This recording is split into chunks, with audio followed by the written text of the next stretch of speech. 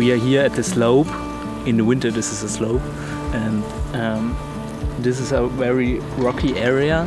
And there's the possibility that you hit a rock with the ski base, with the running surface, and then you will produce microplastic.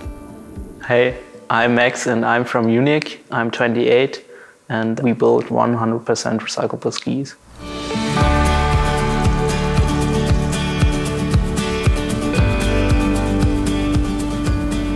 If you use normal skis and you go skiing and then hit a rock, uh, you leave a bit of microplastic in the environment.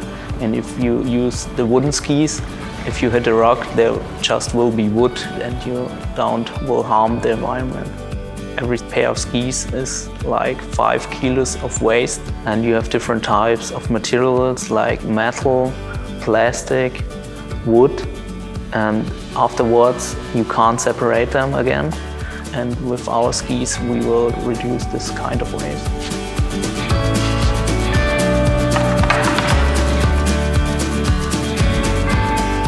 It's different from normal skis that all nearly all the materials are biodegradable and um, there's a steel edge which is screwed on the side and afterwards you can screw off the steel edge and put it to the recycling and the wooden core you can burn in the oven for example.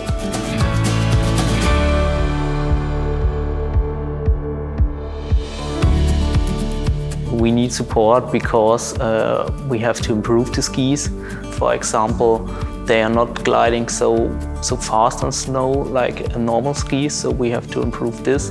We have to do some research and find maybe other materials or other processes. We have to build shapes and between you have to press the veneer and um, to build these forms uh, we need a lot of money. If you want, you can buy one of the first skis, so you are like a prototype tester and give us the feedback so we can improve the skis for the next season. And the aim is that we can reduce uh, the waste which is produced by skiing and we can avoid a lot of microplastic that normally goes through the environment.